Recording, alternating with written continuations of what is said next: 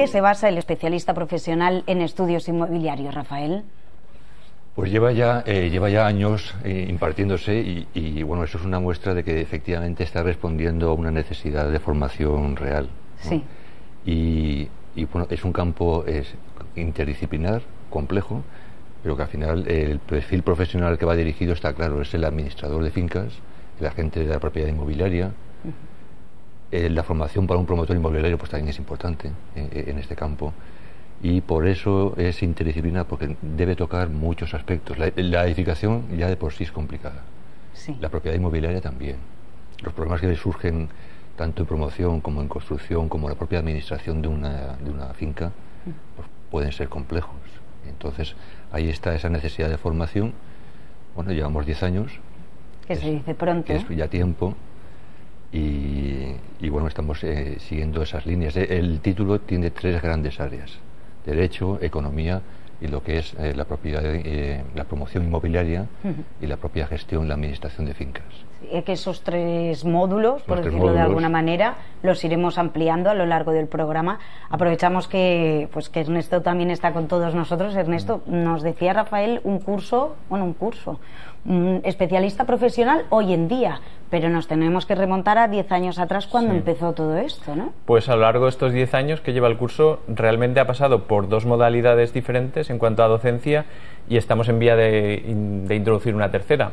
Comenzamos con docencia puramente presencial, la tradicional clase magistral, para pasar a un procedimiento que es el que estamos utilizando ahora, que es totalmente online, y a partir del curso que viene tenemos la intención de introducir un método, se puede decir, mixto entre presencial y online, con una fuerte carga desde luego online, pero utilizando los recursos que nos ofrece la Universidad Politécnica, como son los Polimedia, Policonecta, etcétera. Y todos los polis, ¿no? Que hemos hablado más de una vez, todo lo que nos ofrecen. ¿Cómo lo lleváis con estas nuevas tecnologías, la docencia hoy en día? Bueno, antes estábamos hablando que estáis impartiendo hoy en día también un curso pero que no va dirigido a una clase de 60 personas, sino hasta 700, ¿no? 720. 720 es el número de matriculados. Es un curso que está dirigido a profesionales en arquitectura técnica que quieren realizar el curso de reconocimiento al nuevo título de grado que se mm. llama Ingeniería de Edificación.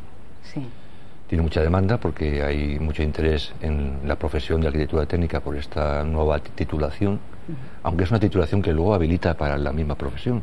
Pero claro, la denominación de Ingeniería de Edificación es muy, muy interesante porque abre nuevas perspectivas y nuevos campos y entonces, claro, hay mucho interés. Y la muestra de interés es que el curso pasado tuvimos 3.000 prescripciones para este curso y solo pudimos ofertar presencialmente 200 plazas.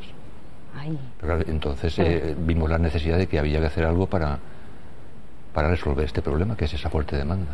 Claro. Entonces eso, este año lo hemos eh, abierto con, como decía antes Ernesto, utilizando el, poli, eh, policorrecta esencialmente, los politubes, el, Hmm. el Polyformat, todas esas herramientas que no son a nosotros tan, tan conocidas, pero eh, abrirlo con esa modalidad a 720. Hmm. En, tres turnos de 240, cada grupo de 60, porque más de 60 empiezan a aparecer problemas técnicos de soporte. Eh, entonces, mm, y luego una infraestructura logística eh, muy, muy trabajada pues para poder ahorrar costes de implantación por, todas partes. Sí, realmente la organización de ese curso debe haber sido impresionante. Y, bueno, después de haber tocado las diferentes eh, modalidades de, tipos de docencia, está claro que a, casi todos los profesores nos gusta más la docencia presencial. Pero bueno, en cierto modo, para determinado tipo de cursos, como son estos posgrados o otro tipo de cursos, no puramente la docencia reglada, eh, realmente después de haber tocado la docencia online y pura y este procedimiento, desde luego, vamos, me da la impresión de que el índice de satisfacción en cuanto al alumnado y también en cuanto al profesor es muchísimo más alto con esta última que, vamos a introducir ahora. Hoy en día sí que os podéis ver las caras perfectamente, pueden preguntar. Eso mejora mucho la interacción. Claro.